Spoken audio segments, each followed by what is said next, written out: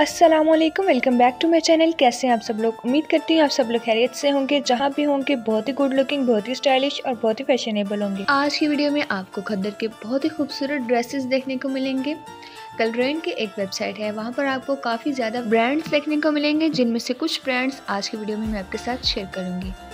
तो guys video को end तक लास्ट में देखिएगा स्किप मत कीजिएगा, ताकि आपको डिज़ाइन आइडिया मिस ना करने। अगर आपको ये ड्रेसेस पसंद आए तो आप इस वीडियो को लाइक और शेयर भी कर सकते हैं। इसके अलावा अगर आप इन ड्रेसेस को ऑर्डर करना चाहते हैं तो इस वेबसाइट का लिंक डिस्क्रिप्शन बॉक्स में मेंशन कर दिया जाएगा। आप वहाँ से इजीली ऑर्डर कर सकते हैं। आज की वीडियो में आपको डिजिटल प्रिंटेड और एम्ब्रॉयड खदर के सूट देखने को मिलेंगे। ये एम्ब्रॉयड खदर की शर्ट है, साथ में प्रिंटेड खदर की शाल है और साथ में प्लेन खदर का ट्राउज़र है। कलरेन पर सेल ऑफ़र चल रही है तो इस वजह से ये ड्रेसेस आपको वहाँ पर अफोर्डेबल प्राइस में मिल जाएँगे।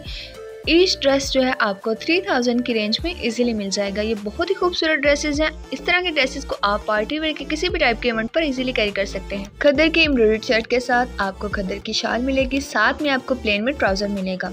इन तमाम ड्रेसेस को एक्सप्लोर कीजिए और अपने लिए बेस्ट डिज़ाइन सेलेक्ट कीजिए। इन ड्रेसेस के साथ अगर आप इन एसेसरीज को कैरी करते हैं तो आप बहुत ही ब्यूटीफुल और स्टाइलिश लगेंगे। उम्मीद करती हूँ आज की वीडियो आपके लिए हेल्पफुल रहेगी। अगर आप हमारे चैनल पर फ़र्स्ट टाइम आए हैं तो जल्दी से हमारे चैनल को सब्सक्राइब कर दें।